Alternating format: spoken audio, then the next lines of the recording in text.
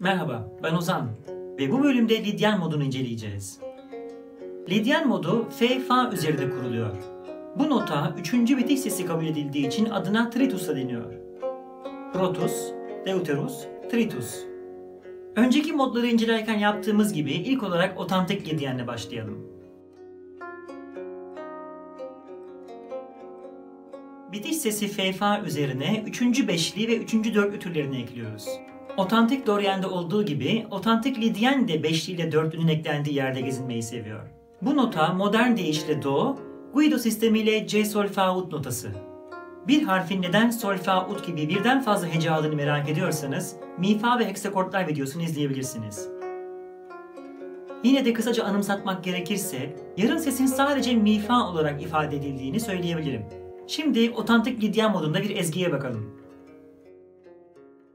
Dico vobis gaudium est angelis Dei Super uno peccatore penitentiam agente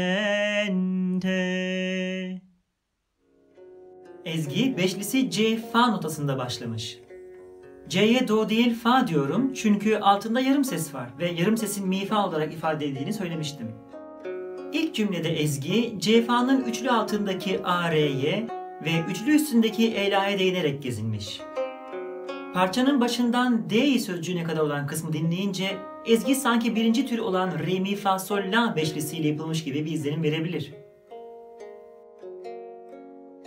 Arkadan gelen cümlede Ezgi yine A sesinde geziniyor beşlisine çıkıyor ve nihayet acente sözcüğünde bitiş sesi FF'ye inerek karar veriyor.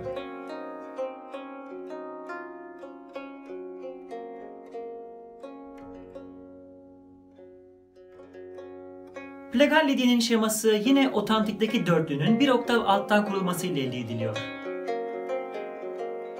Bu modun ezgileri üçlüsü Ala'yı seviyor. Yoksa AR mi demeli? Yarım sesin nereden geldiğine bağlı olarak A, La ya da Re olabiliyor. B, Mi'nin B, Fa'ya dönüşme eğilimi Lidyan modu için de geçerli. Bu haliyle Lidyan modunu günümüzdeki majör dizilere benzetebilirsiniz. Bu yüzden bazı kaynaklarda sürekli B, Fa yazmak yerine Lidyan modunun bitiş sesinin C üzerinde yazıldığını da görebilirsiniz. Yani bildiğiniz Do majör gibi. Lidyan modunun bu versiyonuna 16. yüzyılda İonyen adı verilmiş. Modlarla daha önce çalışmış olanlar bunu bu adıyla biliyor olabilir. Gelin Plagal Lidyen'i C üzerinde yazılmış bir örnekle inceleyelim. Posuisti Domine in capiteus coronam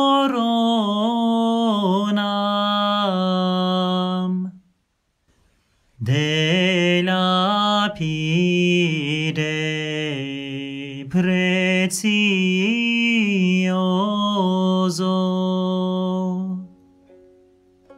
Parça alt dörtlüsünden başlayıp bitiş sesine doğru çıkmış. Devamında bitiş sesiyle beşlisi arasında gezinmiş ve koronam sözcüğünde bitiş sesinde durmuş. Arkadan gelen cümlede yine alt dörtlüsüne inmiş ve son sözcük prezioso'da bitiş sesinde karar vermiş.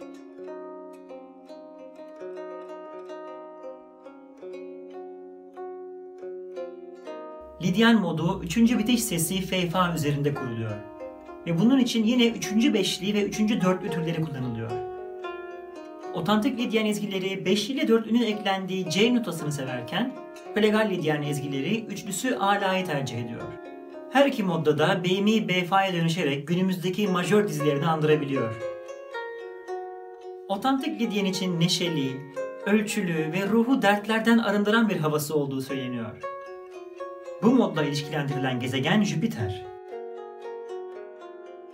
Plagal Lidyen yine otantik plagal karşıtlığı içinde değerlendiriliyor. Ancak otantiğin tam tersi olmak yerine içinde biraz neşe ve içtenlik barındıran bir hüzün verdiği söyleniyor. Gözyaşları ve ağıt temaları bu moda uygun görülüyor. Jüpiter'de uyumlu sayılan Venüs bu moda rehberlik ediyor. Bir sonraki bölümde dördüncü ve son müthiş sesi G sol üzerine kurulan Mixolydian modunu inceleyeceğiz. Hoşçakalın.